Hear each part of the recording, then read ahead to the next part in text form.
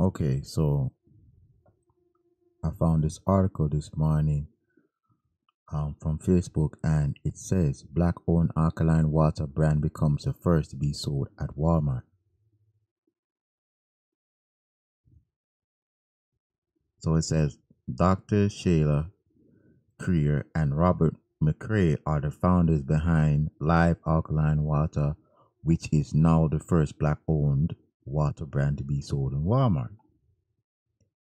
With its headquarters based in Jacksonville, Florida, the company uses water that comes from a natural alkaline spring water that McCray's family has owned in North Carolina for more than a hundred years. Hmm. McCray told First Coast News that his aunt once took him out to the spring and said, You're the blood of your ancestors crying out for you, and you're responsible for this. According to Black Enterprise, the water is sourced from a natural underground spring and aquifer and, and a mineral rock bed that lies 800 feet below the ground, making it extremely pure and fresh to the taste. McCray went on to team up with Dr. Creer to develop the water brand.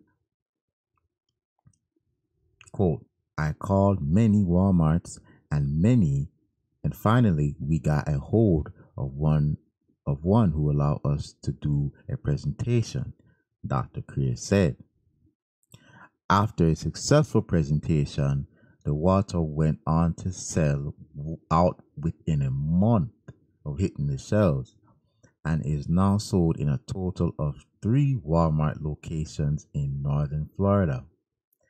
The retail giant intends to continue to sell the water and hopes to add the products to even more of its stores. And here's a quote Healthy people make a healthy community. McCray said, Eat right, drink right, and you begin to think right as a people. Hmm. We need to support this. We definitely, definitely need to support this. And you can purchase this online. You don't have to be in Jacksonville, Florida.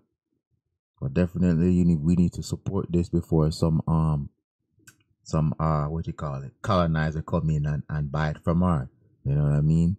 Anyways, um so until next time.